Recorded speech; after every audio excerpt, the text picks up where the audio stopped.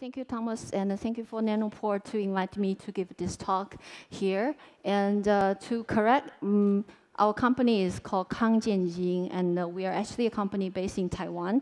And uh, we are the first uh, service provider, certified service provider for Nanopore.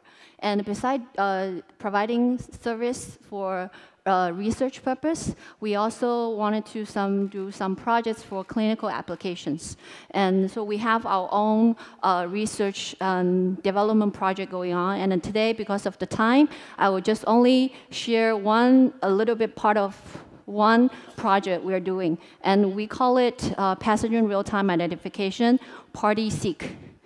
And uh, we all know that uh, blood culture has been used for uh, microbiome clinical microbiology detection for a long time and it's still been a gold standard for this application. Um, however, worldwide, mm, um, no matter where, I think reportedly people are only getting around 20% of culture positivity uh, for this type of test. And uh, a lot of companies are introducing a molecular test upon uh, culture positivity. And uh, we've already seen a trend for those companies trying to bring the molecular um, assay part up towards uh, right upon the clinical blood draw uh, time point. And uh, uh it's a no-brainer. When NGS came along, people already trying to uh, take the advantage of NGS to do a pan-pathogen detection in a single reaction.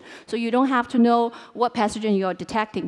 And uh, as early as 2015, you can see in this review paper, people, as soon as nanopore has been introduced, people already started to know to use this uh, Oxford Nanopore technology because of its fast and real-time feature of this technology compared to NGS.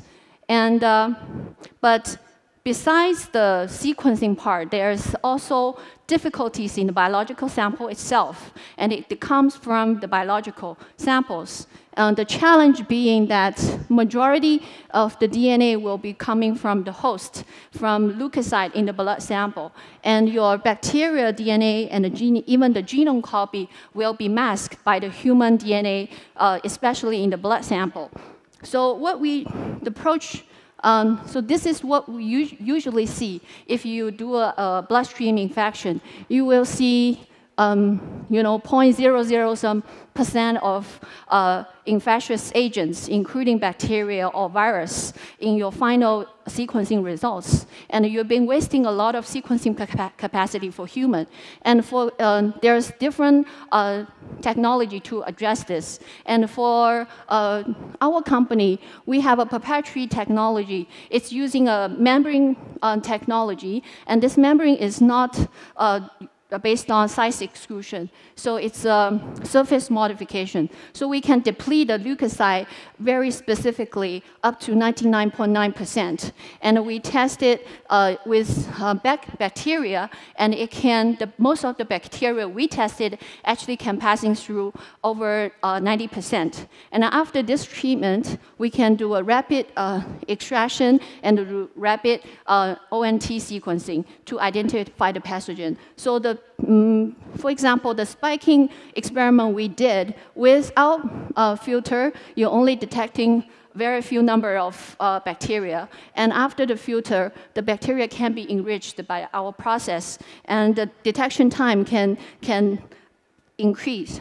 And we also tested a few uh, uh, clinical samples. And the clinical samples show that you can actually apply our uh, workflow to uh, real clinical uh, blood samples and detecting uh, bacteria way before they actually been, can be showed by other culture methods. so this is my quick summary of our results.